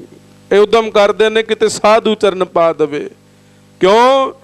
ਕਿਲ ਬਿਖ ਮੈਲ ਭਰੇ ਹਮ ਭੀਤਰ। ਹਮਰੀ ਮੈਲ ਧੂਰ ਸਾਧੂ ਕੀ ਗਵਾਈ। ਕਹਿੰਦੇ ਸਾਡੀ ਮੈਲ, ਲੋਕ ਸਾਡੇ ਤੇ ਆ ਕੇ ਮੈਲ ਪਾ ਜਾਂਦੇ ਨੇ, ਸਾਡੇ ਵਿੱਚ ਕੋਈ ਸਾਧੂ ਚਰਨ ਪਾ ਦੇਵੇ, ਅਸੀਂ ਉਹਦੇ ਚਰਨਾਂ ਦੀ ਧੂੜ ਲੈ ਕੇ ਪਵਿੱਤਰ ਹੋ ਜਾਈਦਾ। ਹੈ। ਮਹਾਂਪੁਰਖ ਐਵੇਂ ਨਹੀਂ ਕਹਤਾ ਚਰਨ ਸਾਧ ਕੇ ਧੋਏ ਧੋਏ ਪੀਓ। ਅਰਪ ਸਾਧ ਕੋ ਆਪਣਾ ਜੀਓ, ਸਾਧ ਕੀ ਧੂਰ ਕਰੋ ਇਸ਼ਨਾਨ। ਰੋ ਵਿਚਾਰ, ਗੁਰਮੁਖੋ ਕਹਿਣਾ ਕੀਤਾ ਜੀ, ਇਹ ਤੇ ਬੜੀ ਗਰੀਬ ਹੈ। ਤੇ ਇਹਦਾ ਕਾਰੋਬਾਰ ਹੀ ਇਹਦੇ ਸਿਰ ਤੇ ਸੀ। ਬਾਬਾ ਗੁਰਦਿੱਤਾ ਜੀ ਨੇ ਹੱਥ ਦੇ ਵਿੱਚ ਛਟੀ ਫੜੀ ਸੀ। ਕਿਤੇ ਉਹਨੂੰ ਨਿੰਮ ਕਿਹਾ। ਛਟੀ ਫੜੀ ਤੇ ਬਾਬਾ ਜੀ ਨੇ ਉਹਨੂੰ ਗਾਂ ਦੇ ਕੋਲ ਲਾਇਆ, ਕਹਿੰਦੇ, ਉੱਠ ਖੜੀ ਹੋ ਜਾ। ਛਿੱਟਾ ਦਿੱਤਾ ਤੇ ਸਾਧ ਸੰਗਤ ਉਹ ਮੋਈ ਗਾਂ ਜਿਉਂਦੀ ਕਰਤੀ, ਕਰਾਮਾਤ ਕੀਤੀ। ਪਰ ਗੁਰੂ ਨਾਨਕ ਦੇ ਘਰ ਦੀ ਰੀਤ ਹੈ, ਇੱਥੇ ਕਰਾਮਾਤਾਂ ਨਹੀਂ ਵਿਖਾਈਆਂ ਜਾਂਦੀਆਂ। ਕਰਾਮਾਤ ਨੂੰ ਥਾਂ ਨਹੀਂ ਕੋਈ, ਕਰਾਮਾਤ ਨਾਮ ਕਹਿਰ ਦਾ ਹੈ। ਜਿੱਥੇ ਗੁਰੂ ਘਰ ਚ ਕਰਾਮਾਤ ਆਈ, ਭਾਵੇਂ ਉਹ ਕਿਸੇ ਚ ਵੀ ਆਈ, ਗੁਰੂ ਸਾਹਿਬ ਨੇ ਨਹੀਂ ਉਹਨੂੰ ਬਖਸ਼ਿਆ। ਬਾਬਾ ਗੁਰਦਿੱਤਾ ਜੀ ਗਊ ਜਿਉਂਦੀ ਕੀਤੀ ਤੇ ਸੰਗਤਾਂ ਨੇ ਬੜੀ ਖੁਸ਼ੀ-ਖੁਸ਼ੀ ਜਾ ਕੇ ਆਪਣੇ ਵੱਲੋਂ ਪ੍ਰੇਮ ਭਾਵਨਾ ਵਡਿਆਈ ਕੀਤੀ ਕਿ ਬਾਬਾ ਜੀ, ਧੰਨ ਗੁਰੂ ਹਰਗੋਬਿੰਦ ਸਾਹਿਬ ਮਹਾਰਾਜ, ਵੇਖੋ ਜਿਹੜਾ ਕੰਮ, ਕਿੱਡਾ ਵੱਡਾ ਕੰਮ ਕੀਤਾ ਤੁਹਾਡੇ ਪੁੱਤ ਨੇ। ਮਹਾਰਾਜ ਕਹਿੰਦੇ, ਪ੍ਰੇਮੀਓ, ਕੀ ਹੋਇਆ? ਕਹਿੰਦੇ, ਮਹਾਰਾਜ, ਮੋਈ ਗਊ ਜਿੰਦੀ ਕਰਤੀ। ਤੇ ਉਸ ਸਮੇਂ ਧੰਨ ਗੁਰੂ ਹਰਗੋਬਿੰਦ ਸਾਹਿਬ ਮਹਾਰਾਜ ਕਹਿੰਦੇ, ਅੱਛਾ, ਇਹ ਕੰਮ ਕੀਤਾ? ਤੇ ਉਸ ਵਿਧੀ ਨੂੰ ਸੁਣ ਕੇ ਮਹਾਰਾਜ ਨੇ ਆਪ ਬਾਬਾ ਗੁਰਦਿੱਤਾ ਜੀ ਨੂੰ ਆ ਕੇ ਕਹਿਣਾ ਕੀਤਾ, ਕਹਿੰਦੇ, ਬਾਬਾ ਗੁਰਦਿੱਤਾ, ਮ੍ਰਿਤ ਜਵਾਈ ਤੈਨ ਤੁਮ ਬਲ ਨਹਿ ਸਕੈ ਸੰਭਾਲ। ਮਹਾਰਾਜ ਕਹਿੰਦੇ, ਗੁਰੂ ਨਾਨਕ ਦੇ ਘਰ ਦਾ ਪੁੱਤਰ ਹੋਣ ਕਰਕੇ ਤੁਹਾਡੇ 'ਚ ਬਲ ਹੈ, ਸ਼ਕਤੀਆਂ ਨੇ। ਪਰ ਇਹ ਸ਼ਕਤੀਆਂ ਮਰੀਆਂ ਹੋਈਆਂ, ਗਊਆਂ ਨੂੰ ਜਿਉਂਦਾ ਕਰਨ ਵਾਸਤੇ ਨਹੀਂ। ਤੇ ਤੋਂ ਬਲ ਨਹੀਂ ਸੰਭਾਲ ਹੋਇਆ। ਤੇ ਸੱਚੇ ਪਾਤਸ਼ਾਹ ਕਹਿੰਦੇ, ਗੁਰੂ ਘਰ ਦੇ ਵਿੱਚ ਕਰਾਮਾਤ ਦਾ ਕੋਈ ਥਾਂ ਨਹੀਂ। ਕਰਾਮਾਤਾਂ ਨੂੰ ਨਾ ਥਾਂ ਇੱਥੇ ਕੋਈ। ਘਰ ਗੁਰੂ ਨਾਨਕ ਦੇ ਕਰਾਮਾਤਾਂ ਨੂੰ ਨਾ ਥਾਂ ਇੱਥੇ ਕੋਈ। ਘਰ ਗੁਰੂ ਨਾਨਕ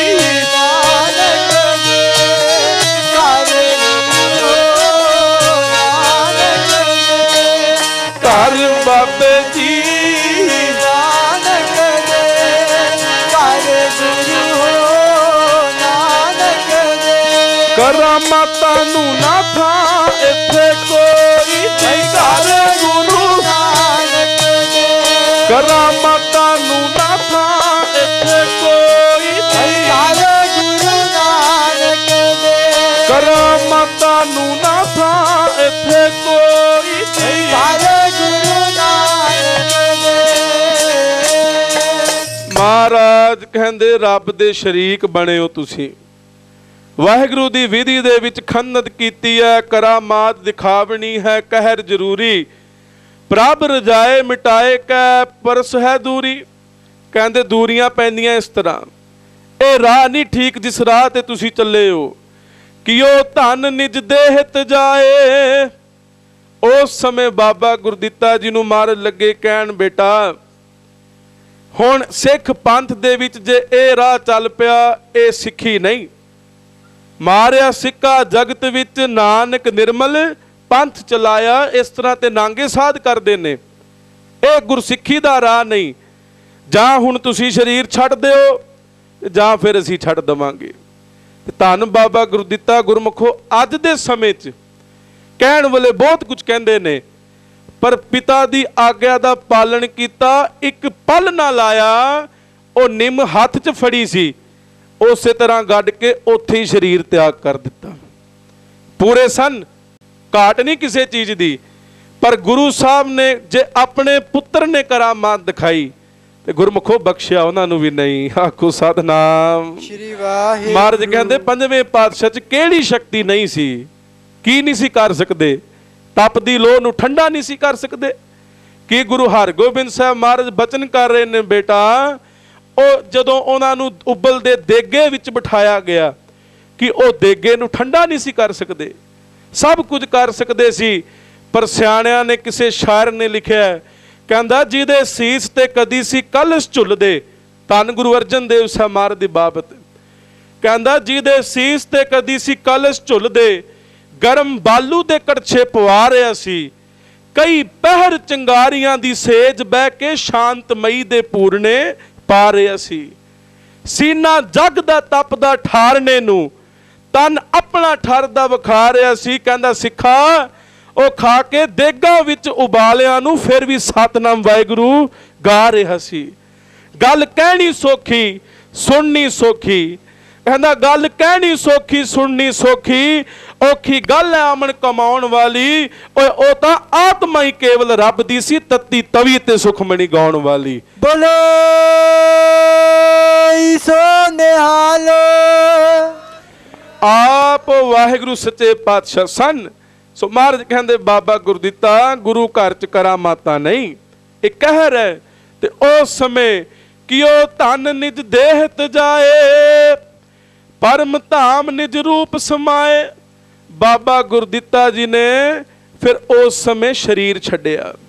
ਤੇ ਜਿਸ ਥਾਂ ਤੇ ਸਰੀਰ ਛੱਡਿਆ ਨਿੰਮ ਗੱਡੀ, ਤੇ ਅੱਜ ਤੁਸੀਂ ਜਾਂਦੇ ਹੋ, ਜਿਹੜੇ ਵੀ ਜਾਂਦੇ ਨੇ, ਉਹ ਅਸਥਾਨ ਹੈ, ਤੇ ਸਾਧ ਸੰਗਤ ਐਵੇਂ ਨਹੀਂ ਅਸਥਾਨ, ਛੇਵੇਂ ਪਾਤਸ਼ਾਹ ਦੇ ਵਰ ਵੀ ਮਿਲੇ ਨੇ। ਜਦੋਂ ਛੇਵੇਂ ਪਾਤਸ਼ਾਹ ਨੂੰ ਪਤਾ ਲੱਗਿਆ, ਤੇ ਛੇਵੇਂ ਪਾਤਸ਼ਾਹ ਲੱਗੇ ਕਹਿਣ, ਬਾਬੇ ਗੁਰਦਿੱਤੇ ਨੇ ਸਰੀਰ ਛੱਡਿਆ? ਕਹਿੰਦੇ, ਮਹਾਰਾਜ, ਹਾਂਜੀ। ਮਹਾਰਾਜ ਕਹਿੰਦੇ, ਦੇਖ ਸ਼੍ਰੀ ਮੁਖ ਬੈਠ ਅਲਾਇਓ। ਵੇਖ ਕੇ, ਬਹਿ ਕੇ ਮੁਖ ਤੋਂ ਬਚਨ ਕਰ ਰਹੇ ਨੇ। ਜੋ ਚਾਹੇ ਬਾਬੇ ਦਰਸ਼ਨ ਪਾਇਓ। ਮਹਾਰਾਜ ਕਹਿੰਦੇ, ਜਿਹੜਾ ਵੀ ਬਾਬੇ ਗੁਰਦਿੱਤੇ ਦੇ ਦਰਸ਼ਨ ਕਰਨਾ ਚਾਹੁੰਦਾ ਹੈ, ਅਗਲਾ ਬਚਨ ਕੀਤਾ, ਦਰਸ਼ਨ ਕਰੈ ਨਿੰਮ ਕੇ ਕੋਈ। ਮਹਾਰਾਜ ਕਹਿੰਦੇ, ਜਿਹੜਾ ਇਸ ਨਿੰਮ ਦੇ ਦਰਸ਼ਨ ਕਰੇਗਾ, ਪਾਵੈ ਸੋ ਧਨ ਇੱਛਾ ਸੋਈ। ਕਹਿੰਦੇ ਜਿਹੜੀ ਮਰਜ਼ੀ ਮੁਰਾਦ ਲੈ ਕੇ ਆ ਜਾਵੇ, ਜਿਵੇਂ ਬਾਬੇ ਦੇ ਦਰ ਤੇ ਮੁਰਾਦਾਂ ਪੂਰੀਆਂ ਹੁੰਦੀਆਂ ਸੀ, ਇਸ ਨਿੰਮ ਦੇ ਬੂਟੇ ਅੱਗੇ ਅਰਦਾਸ ਕਰੇ, ਉਹਦੀ ਮੂੰਹ ਮੰਗੀ ਮੁਰਾਦ ਪੂਰੀ ਹੋਵੇਗੀ। ਤਾਂ ਹੀ ਗੁਰਮਖੋ, ਛੇਵੇਂ ਪਾਤਸ਼ਾਹ ਆਪ ਵਰ ਦੇ ਰਹੇ ਨੇ। ਨਾਲੇ ਤੇ ਆਪ ਸਤਿਗੁਰੂ ਜੀ ਸਰੀਰ ਨੂੰ ਵੇਖ ਰਹੇ ਨੇ ਤੇ ਆਪਣੇ ਮੁਖ ਤੋਂ ਐਸੇ ਬਚਨ ਉਚਾਰ ਕਰ ਰਹੇ ਨੇ। ਮੂੰਹੋਂ ਮੰਗੀਆਂ ਮੁਰਾਦਾਂ ਪਾਵੇ ਵਰ ਦਿੱਤਾ ਛੇਵੇਂ ਗੁਰਾਂ ਨੇ ਮੂੰਹੋਂ ਮੰਗੀਆਂ ਮੁਰਾਦਾਂ।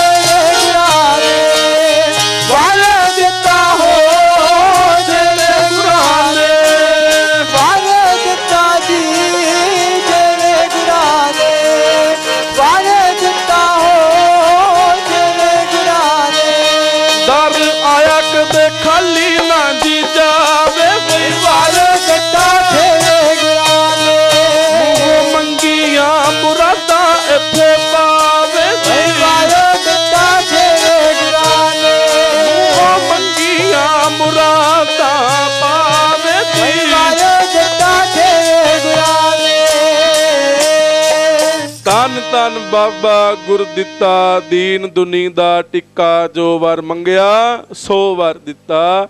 ਛੇਵੇਂ ਪਾਸ਼ਾ ਬਚਨ ਉਚਾਰੇ, ਪਿਆਰਿਓ, ਇਸ ਦਰ ਤੇ ਸਦਾ ਹੀ ਗੁਰੂ ਨਾਨਕ ਦਾ ਨਾਮ ਚੱਲਦਾ ਰਹੇਗਾ।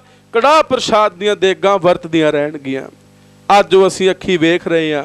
ਉਥੇ ਕੀਰਤਪੁਰ ਸਾਹਿਬ ਦੇ ਸਥਾਨ ਤੇ ਜਿੱਥੇ ਮੈਂ ਵਿੱਚ ਬੇਨਤੀ ਕੀਤੀ ਸੀ, ਸਾਈਂ ਜੀ ਨੇ, ਸਾਈਂ ਬੁੱਢਣ ਸ਼ਾਹ ਗੁਰੂ ਨਾਨਕ ਸਾਹਿਬ ਤੋਂ ਬਚਨ ਲਿਆ। ਮਹਾਰਾਜ ਕਹਿੰਦੇ, ਛੇਵੇਂ ਜਾਮੇ ਪੁੱਤ ਭੇਜ ਕੇ ਦੁੱਧ ਛਕਾਂਗੇ।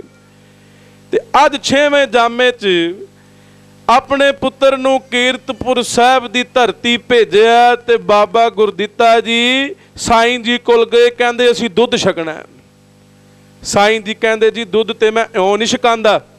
ਹੁਣ ਕਈ ਸ਼ੰਕੇ ਰੱਖਦੇ ਨੇ। ਸਾਈਂ ਜੀ ਕਹਿੰਦੇ, ਦੁੱਧ ਮੈਂ ਤਾਂ ਛਕਾਵਾਂਗਾ ਜੇ ਮੈਨੂੰ ਜਿਸ ਰੂਪ ਚ ਦਰਸ਼ਨ ਦਿੱਤੇ ਸੀ, ਉਸੇ ਰੂਪ ਚ ਦਰਸ਼ਨ ਦਿਓ। ਜਿਸ ਰੂਪ ਚ ਕਹਿ ਕੇ ਗਏ ਸੀ ਨਾ, ਦੁੱਧ ਛਕਾਂਗੇ ਜੇ ਉਸੇ ਰੂਪ ਚ ਦਰਸ਼ਨ ਦਿਓ। ਤੇ ਬਾਬਾ ਗੁਰਦਿੱਤਾ ਜੀ ਹੱਥ ਸੁੱਚੇ ਕੀਤੇ, ਇਸ਼ਨਾਨ ਪਾਣੀ ਕੀਤਾ। ਜਿਵੇਂ ਹੀ ਸਾਈਂ ਜੀ ਵੱਲ ਤੱਕਿਆ, ਇੱਕ ਝਪਕ ਗੁਰੂ ਨਾਨਕ ਸਾਹਿਬ ਦੇ ਦਰਸ਼ਨ ਹੋ ਰਹੇ ਨੇ।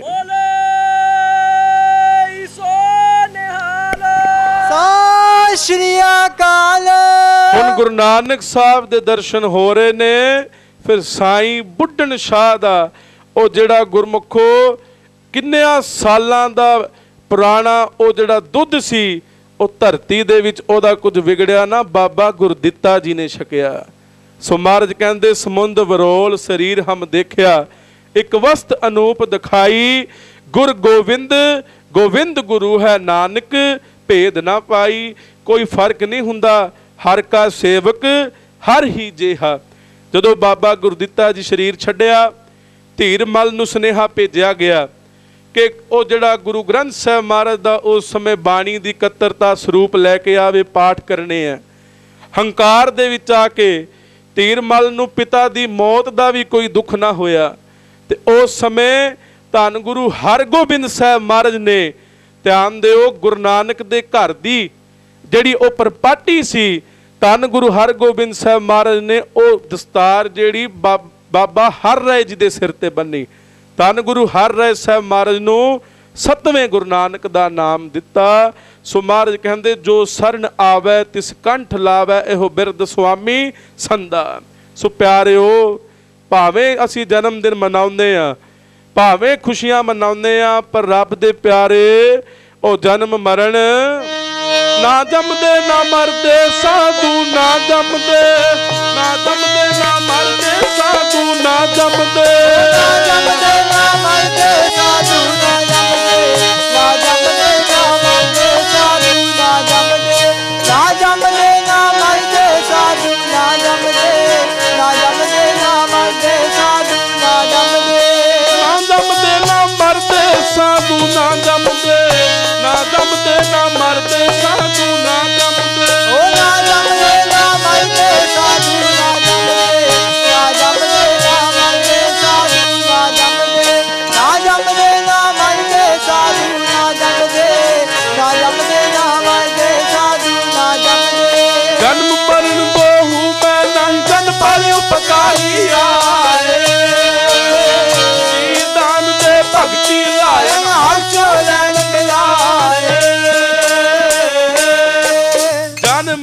ਬਿਨ ਦੋਹੂ ਮਹਿ ਨਾਹੀ। ਜਨ ਪਾਰੀ ਉਪਕਾਰੀ ਆਏ, ਉਪਕਾਰ ਮਾਤਾ ਪਿਤਾ ਪੁੱਤਰਾਂ ਨੂੰ ਪਾਲਦੇ ਨੇ, ਉਪਕਾਰ ਹੈ। ਪਰ ਦੂਜਿਆਂ ਦੇ ਪੁੱਤਰਾਂ ਨੂੰ ਪਾਲਣਾ, ਇਹਨੂੰ ਕਹਿੰਦੇ ਪਾਰੀ ਉਪਕਾਰ। ਸੋ ਮਹਾਰਾਜ ਕਹਿੰਦੇ, ਜੀ ਦਾਨ ਦੇ, ਭਗਤੀ ਲਾਇਣ। ਅੱਜ ਰਾੜਾ ਸਾਹਿਬ ਵਾਲੇ ਮਹਾਂਪੁਰਖਾਂ ਵੱਲ ਵੇਖੋ। ਅੱਜ ਰਤਵਾੜਾ ਸਾਹਿਬ ਵਾਲੇ ਧੰਨ ਮਹਾਂਪੁਰਖ ਸ਼੍ਰੀਮਾਨ ਸੰਤ ਬਾਬਾ ਬਰਿਆਮ ਸਿੰਘ ਜੀ ਮਹਾਰਾਜ, ਉਹਨਾਂ ਨੇ ਗੁਰਮੁਖੋ ਜੇ ਸਿੱਖੀ ਫੜੀ ਤੇ ਇੰਨਾ ਪ੍ਰਚਾਰ ਕੀਤਾ, ਕਹਿੰਦੇ ਕਿੰਨੇ ਕੁ ਹੋਣਗੇ? ਨਾ ਤਾਰੇ ਗਿਣੇ ਜਾਤ ਹੈ, ਨਾ ਤਾਰੇ ਗਿਣੇ ਜਾਤ ਹੈ। ਕਹਿੰਦੇ ਨਾ ਆਕਾਸ਼ਾਂ ਦੇ ਤਾਰੇ ਗਿਣੇ ਜਾ ਸਕਦੇ। ਤੇ ਬਾਬੇ ਗੁਰਦਿੱਤੇ ਦੇ ਦਰ ਤੇ ਜਿੰਨੀਆਂ ਸੰਗਤਾਂ ਦੀਆਂ ਮੁਰਾਦਾਂ ਪੂਰੀਆਂ ਹੁੰਦੀਆਂ ਨੇ, ਜਿੰਨੇ ਤਰਦੇ ਨੇ, ਉਹਨਾਂ ਦੀ ਵੀ ਗਿਣਤੀ ਕੋਈ ਨਹੀਂ ਕਰ ਸਕਦਾ। ਨਾ ਤਾਰੇ ਗਿਣੇ ਜਾਤ ਹੈ ਪੜੋ ਪਿਆਰ ਨਾਲ।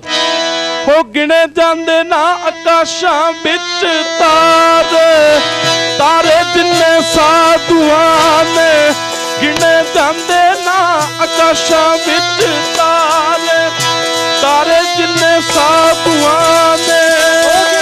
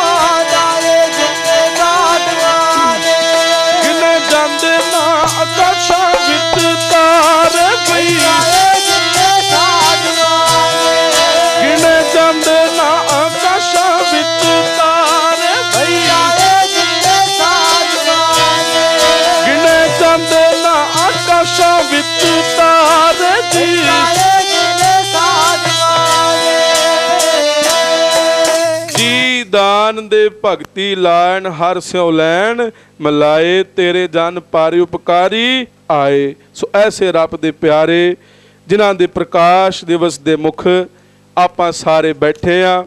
ਦੁੱਖਾਂ ਦੇ ਵਿੱਚ ਦੁਨੀਆ, ਕਹਿੰਦੇ ਮੰਗਲਵਾਰ ਦਾ ਡਿੱਗਣਾ ਬੜਾ ਮਾੜਾ। ਐਤਵਾਰ ਦੀ ਜਾਣੀ ਝੜੀ ਔਖੀ ਔਖੀ ਘੜੀ ਹੈ ਕਿਹੜੀ ਔਖੀ ਘੜੀ? ਕਹਿੰਦੇ ਮੰਗਲਵਾਰ ਦਾ ਡਿੱਗਣਾ ਲੋਕੀ ਕਹਿੰਦੇ ਬੜਾ ਹੀ ਮਾੜਾ ਹੈ ਐਤਵਾਰ ਦੀ ਜਾਮ ਦੀ ਝੜੀ ਔਖੀ, ਇੱਕ ਇਸਤਰੀ, ਦੂਜਾ ਬਾਲ ਨਿਆਣਾ, ਤੀਜੀ ਰਾਜੇ ਦੀ ਜਾਮ ਦੀ ਅੜੀ ਔਖੀ। ਤੇ ਕਹਿੰਦੇ, ਮਣ ਕੇ ਕੱਚ ਦੇ ਤਾਂ ਇਕੱਠੇ ਕਈ ਮਿਲਦੇ, ਪਰ ਸੁੱਚੇ ਮਾਤੀਆਂ, ਮੋਤੀਆਂ ਦੀ ਮਾਲਾ ਮਿਲਦੀ ਬੜੀ ਔਖੀ। ਦਿਲਵਰਾ ਸੁੱਖਾਂ ਦੇ ਨਾਲ ਸਮੇਂ ਲੰਘ ਜਾਂਦੇ, ਘੜੀ ਔਖਾਂ ਦੀ ਲੰਘਦੀ ਬੜੀ ਔਖੀ। ਉਹ ਦੁੱਖ, ਉਹ ਸਭ ਵਾਹਿਗੁਰੂ ਨਾਮ ਦੀ ਬਾਣੀ ਪੜ੍ਹ ਕੇ ਸਤਿਗੁਰ ਦਾ ਨਾਮ ਜਪ ਕੇ ਦੂਰ ਹੁੰਦੇ ਨੇ। ਦੁੱਖ ਰੋਗ ਸੰਤਾਪ ਉਤਰੇ ਸੁਣੀ ਸੱਚੀ ਬਾਣੀ। ਨਾਮ ਜਪੀਏ ਸੇਵਾ ਕਰੀਏ ਸਿਮਰਨ ਕਰੀਏ ਤਾਂ ਤੇ ਸਾਡਾ ਇਹ ਲੋਕ ਸੁਖੀਏ।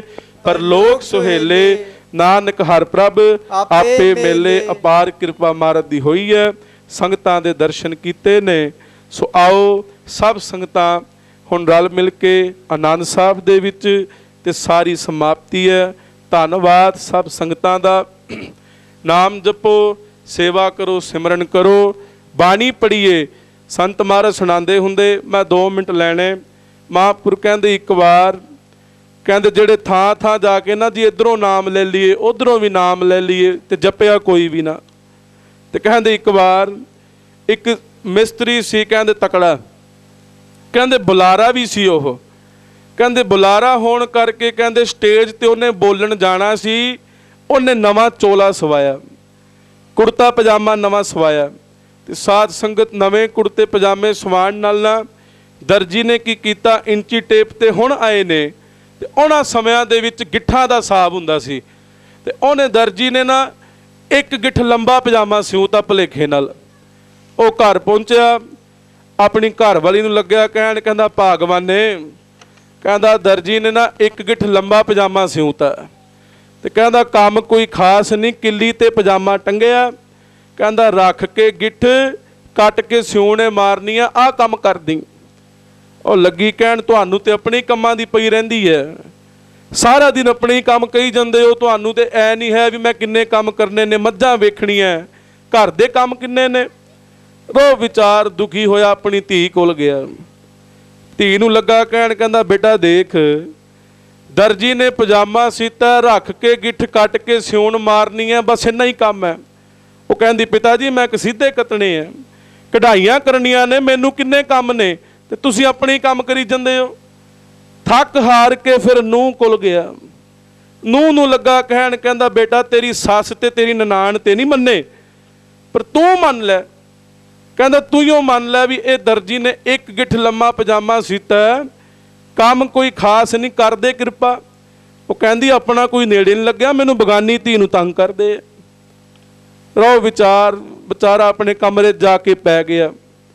ਹੁਣ ਥਾਂ ਥਾਂ ਜਿਹੜੇ ਫਿਰਦੇ ਨੇ, ਜਿਨ੍ਹਾਂ ਨੂੰ ਇੱਕ ਗੁਰੂ ਨਾਨਕ ਤੇ ਭਰੋਸਾ ਹੀ ਨਹੀਂ, ਤੇ ਸਾਧ ਸੰਗਤ ਉਹ ਆਪਣੇ ਕਮਰੇ 'ਚ ਜਾ ਕੇ ਪਿਆ ਐਨੇ ਨੂੰ ਘਰ ਵਾਲੀ ਲੱਗੀ ਸੋਚਣ, ਕਹਿੰਦੀ, ਸਾਰਾ ਦਿਨ ਕੰਮ ਸਾਡੇ ਪਿੱਛੇ ਹੀ ਕਰਦਾ। ਹੈ ਸਾਡੇ ਪਿੱਛੇ ਹੀ ਮਰਦਾ, ਉਹਨੇ ਚੱਕਿਆ ਕਿੱਲੀ ਤੋਂ ਪਜਾਮਾ, ਰੱਖ ਕੇ ਗਿੱਠ ਕੱਟ ਕੇ ਸਿਉਣ ਮਾਰ ਕੇ ਟੰਗਤਾ ਥੋੜੀ ਦੇਰ ਲੰਘੀ, ਐਨੇ ਨੂੰ ਉਹਦੀ ਨ- ਧੀ ਲੱਗੀ ਸੋਚਣ, ਕਹਿੰਦੀ, ਬਾਪੂ ਮੇਰੇ ਤੇ ਕਿੰਨਾ ਖਰਚਾ ਕਰ ਰਿਹਾ ਕਿੰਨਾ ਉਹਨੇ ਮੇਰੇ ਤੇ ਕਹਿੰਦੀ ਪੈਸਾ ਲਾਣਾ ਕਿੰਨਾ ਮੇਰਾ ਵਿਆਹ ਕਰਨਾ ਵਰ ਲੱਭਣਾ ਹੈ?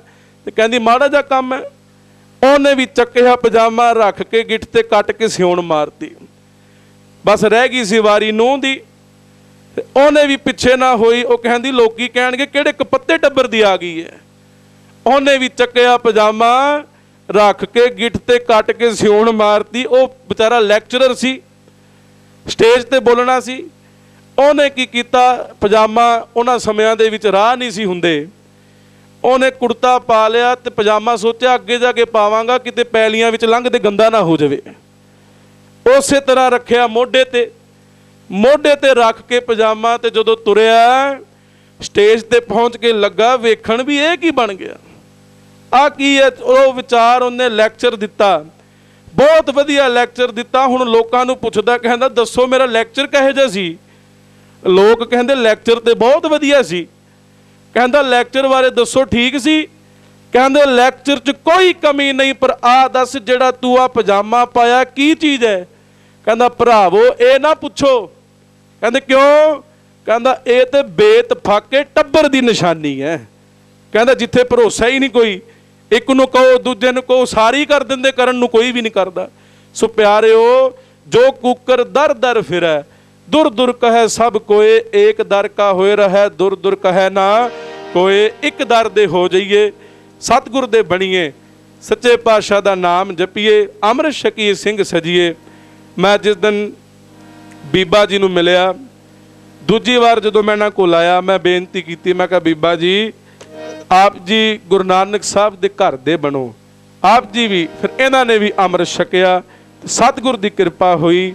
ਸੋ ਜੋ ਵੀ ਆਉਂਦੇ ਹੋ, ਸਭ ਨੂੰ ਬੇਨਤੀ ਹੈ ਗੁਰੂ ਨਾਨਕ ਦੇ ਬਣੋ, ਤਾਂ ਤੇ ਸਾਡਾ ਇਹ ਲੋਕ ਸੁਖੀਏ। ਪਰ ਲੋਕ ਸੁਹੇਲੇ, ਨਾਨਕ ਹਰ ਪ੍ਰਭ, ਆਪੇ ਮੇਲੇ।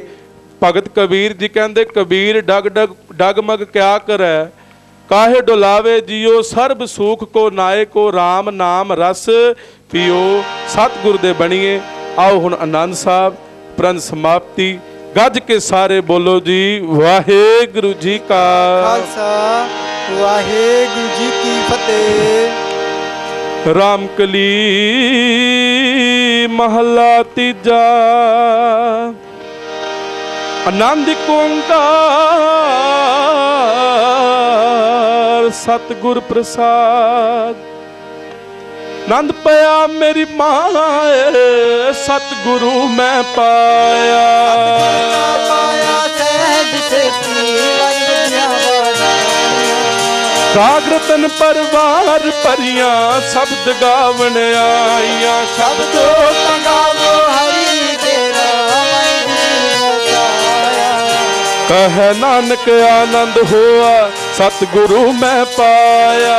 ਏ ਮਨ ਮੇਰਿਆ ਤੂੰ ਸਦਾ ਰਹੋ ਹਰ ਨਾਮ। ਹਰ ਨਾਲ ਰੋ ਤੂੰ ਮਨ ਮੇਰੇ, ਦੁੱਖ ਸੰਭ ਵਿਸਾਰਨਾ। ਅੰਗੀਕਾਰੋ ਕਰੇ ਤੇਰਾ ਦਰਦ ਸਭ ਤਵਾਰਨਾ ਸਭਨਾ ਗਲਾ ਸਮਰੱਥ ਸੁਆਮੀ ਸੋ ਕਿਉ ਮਨ ਵਿਸਾਰੇ। ਕਹਿ ਨਾਨਕ ਮਨ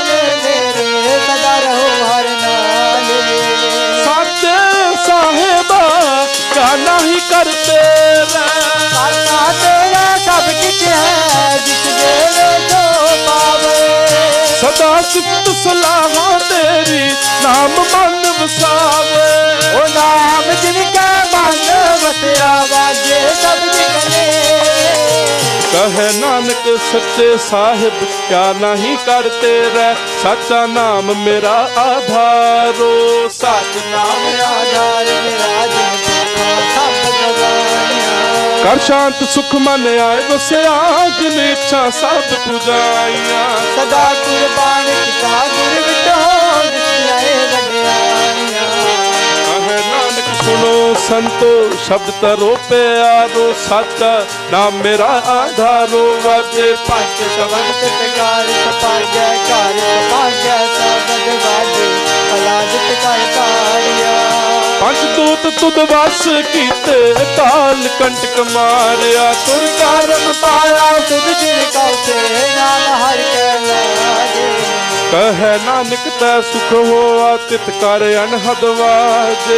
ਅਨੰਦ ਸੁਨੋ ਵਡ ਭਾਗਿਓ, ਸਗਲ ਮਨੋਰਥ ਪੂਰੇ। ਪਾਰ ਬ੍ਰਹਮ, ਪ੍ਰਭ ਪਾਇਆ ਉਤਰੇ ਸਗਲੇ ਵਿਸੂਰੇ ਦੁਖ ਰੋਗ ਸੰਤਾਪ ਸੁਣੀ ਸੱਚੀ ਬਾਣੀ। ਉਹ ਸੰਤ ਸਾਧਨ ਪਏ ਸੰਤੇ ਪੂਰੇ ਕੀਤੇ ਜਾਣੀ ਸੁਨਤੇ ਪੁਨਿਤ ਕਹਤੇ ਪਵਿੱਤ ਸਤਗੁਰ ਰਹਾ ਭਰਪੂਰ। ਬਿਨਵੰਤ ਨਾਨਕ ਗੁਰ ਚਰਨ ਲਾਗੇ ਵਾਜੇ ਅਨਹਦ ਤੁਰੇ ਚਲੋਕ ਪਵਨ ਗੁਰੂ ਪਾਣੀ ਪਿਤਾ ਮਾਤਾ ਧਰਤ ਮਹਾਤ। ਦਿਵਸ ਰਾਤ ਦੁਇਦਾਈ ਦਇਆ। ਮੇਲਾ ਸਗਲੇ ਚੰਗਿਆਈਆਂ ਬੁਰਿਆਈਆਂ ਵਾਚੈ ਧਰਮ ਹਦੂਰ। ਕੰਕੀ ਆਪੋ ਆਪਣੀ ਕਹਿੰਦੇ ਲੈ ਕੇ ਦੂਰ। ਜਿਨੀ ਨਾਮ ਤੇ ਆਇਆ ਗਏ ਮਸਕਤ ਕਾਲ ਨਾਨਕ ਤੇ ਮੁਖੂਜਲ ਕੀਤੀ ਛੁੱਟੀ ਨਾਲ। ਨਾਨਕ ਨਾਮ ਚੜ੍ਹਦੀ ਕਲਾ ਤੇਰੇ ਪਾਣੇ ਸਰਬੱਤ ਦਾ ਭਲਾ। ਉਹ ਨਾਨਕ ਨਾਮ ਚੜ੍ਹਦੀ ਕਲਾ ਤੇ ਪਾਏ ਸਰਬਤ ਦਾ ਭਲਾ। ਆਓ ਸਾਰੇ ਲਾਓ ਚੌਂਕੜੇ 2 ਮਿੰਟ। ਜਿਵੇਂ ਆਪਾਂ ਅੱਗੇ ਵੀ ਜਪਦੇ ਆ ਨਾਮ ਆਓ ਸਾਰੇ। ਵਾਹਿਗੁਰੂ ਵਾਹਿਗੁਰੂ ਵਾਹਿਗੁਰੂ ਧੰਨ ਵਾਹਿਗੁਰੂ ਵਾਹਿਗੁਰੂ ਵਾਹਿਗੁਰੂ ਵਾਹਿਗੁਰੂ ਧੰਨ ਵਾਹਿਗੁਰੂ। ਵਾਹਿਗੁਰੂ ਵਾਹਿਗੁਰੂ ਵਾਹਿਗੁਰੂ, ਵਾਹਿ-